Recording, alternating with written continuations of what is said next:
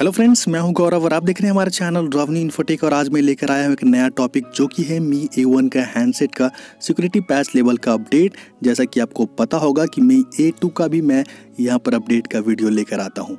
इस हैंडसेट में दो दिन पहले ये अपडेट आया हुआ है और आज मैं आपको बताऊँगा कि ये अपडेट कैसा है, ये अपडेट आपको करना चाहिए या फिर नहीं। तो मैंने इसे डाउनलोड में लगा दिया है 66 सिक्स का ये अपडेट है और अक्टूबर के बाद ये नवंबर में सिक्योरिटी पैस लेवल का अपडेट आपको मी ए वन के डिवाइस में आपको देखने को मिल जाता है। अगर मैं बात करूँ अक्टूबर की तो अक्टूबर की अपडेट में दो प्रॉब्लम आपको देखने को मिलता था।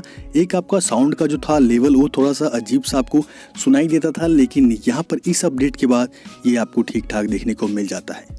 बैटरी का परफॉर्मेंस भी आपको बढ़िया देखने को मिलता है। हालाँकि इस फ़ोन की काफ़ी ज़्यादा टाइम हो चुका है, लेकिन अभी भी बैटरी आपको ठीक ठाक देखने को मिल जाता है। ये एक ऐसा डिवाइस है जो कि बहुत लोगों ने परचेज़ किया है और अभी भी इसका परफॉर्मेंस बहुत ही बढ़िया है।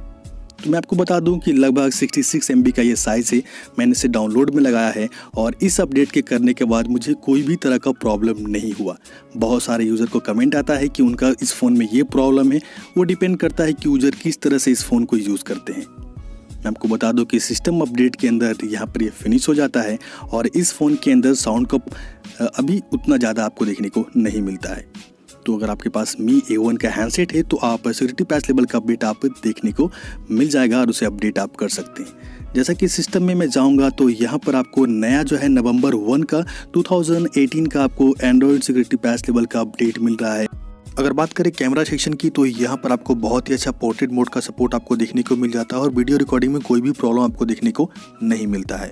और यहाँ पर एक प्रॉब्लम ये है कि हल्का हल्का जो फ़ोटो आता है, उस पर हल्का सा येलोइस आपको देखने को मिल जाता है कलर अगर फिंगरप्रिंट और आपका फेस अनलॉक की बात करें तो हर अपडेट के बाद यहाँ पर फास्ट हो जाता है फिंगरप्रिंट और फेस अनलॉक यहाँ पर बैटरी का परफॉर्मेंस बहुत ही अच्छा आपको देखने को मिल जाता है अक्टूबर से, जो कि प्रॉब्लम था। यहाँ पर ठीक ठाक आपको मिल जाता है।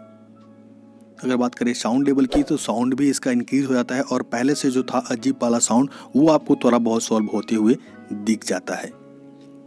एक प्रॉब्लम इसमें ये आया कि नोटिफिकेशन जो है, सारे ऐप्स का आपको देखने को नहीं मिलते हैं नोटिफिकेशन पैनल में, जो कि इस अपडेट का एक बग से और कोई ना कोई अपडेट में थोड़ा बहुत बग्स आपको देखने को ज़रूर मिल जाता है। तो मे बी दिसंबर का सिक्योरिटी पैस लेवल का अपडेट में ये जो बग है, इसे सॉल्व कर दिया अगर पबजी की बात करें तो पबजी में भी अच्छा परफॉर्म करता है और AnTuTu benchmark इसका सेवेंटी प्लस लाख का आपको देखने को मिल जाता है, जो कि पिछले अपडेट से थोड़ा ज़्यादा एन टू बेंच मार्क इस अपडेट का आपको देखने को मिल जाता है। साथ ही साथ यहाँ पर हीटिंग का प्रॉब्लम थोड़ा भी नहीं है। इस अपडेट के अंदर और लगभग ये अपडेट आपको एक दो बग्स को छोड़ के ये अच्छा अपडेट आपको देखने को मिलता है नवंबर का। तो आप इसे अपडेट कर सकते हैं और नेक्स्ट मंथ में जो भी नोटिफिकेशन का प्रॉब्लम है इस अपडेट के अंदर, उसे सॉल्व कर दिया जाएगा। ये एक छोटा अपडेट है और छोटा अपडेट में 66 सिक्स एम का अपडेट में आपको थोड़े बहुत प्रॉब्लम तो आपको देखने को मिल जाएँगे।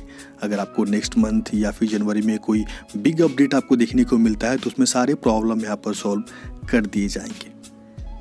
उम्मीद है कि आपके सारे डाउट्स क्लियर हो गए होंगे और आपको वीडियो अगर पसंद आया तो वीडियो को लाइक ज़रूर करें। मैं ऐसा ही वीडियो हमेशा लाता रहता हूँ। वीडियो पसंद तो वीडियो को लाइक करें चैनल को सब्सक्राइब करें और ऐसे ही सपोर्ट करते रहें। तो फिर मिलते हैं एक नए वीडियो के साथ। तब तक आप ऐसे ही देखते रहें मेरा चैनल रवनी इन्फोटेक